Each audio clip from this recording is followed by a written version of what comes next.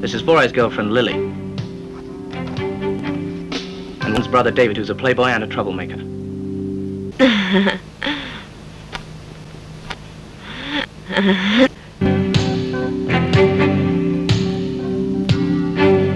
Something wrong, boss?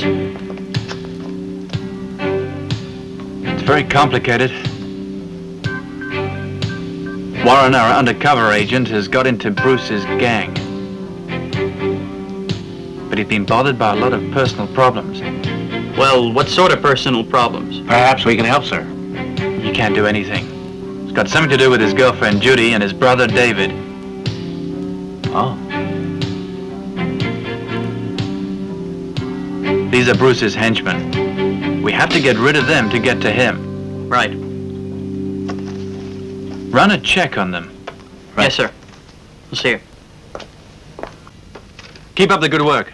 Now, it's an easy job. I arrested another fairy tale yesterday. A ninja is supposed to be unbeatable. I'd like to meet a real ninja one day. Don't tell me you believe in ninjas. Of course not. You said ninjas don't exist. That's right. Now, Susan's beginning to trust Warren, but now he's playing around with Lily, Four Eyes' girlfriend. What a lucky guy. Do you want to change places? Oh, no, no, no, thank you, sir. Right now, the important thing is for Warren to get evidence against Four Eyes. It's really interesting, all these ninjas, Yeah, don't you think?